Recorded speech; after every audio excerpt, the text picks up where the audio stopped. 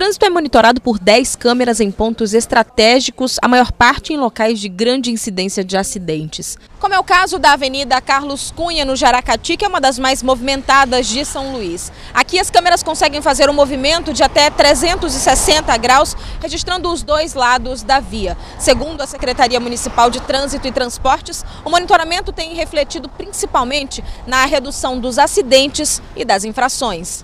É a partir delas que os agentes de trânsito conseguem atender aos chamados mais facilmente. É aqui da central de controle que são repassadas as informações sobre acidentes e registradas as infrações em tempo real. Além do monitoramento dos veículos, daqui também é feito o controle do transporte coletivo através do GPS.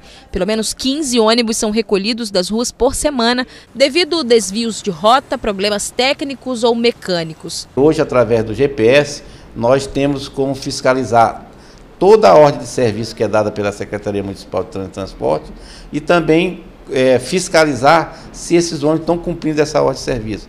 Se eles quebraram, se eles não saíram da garagem, entendeu? Se eles fizeram desvio de rota.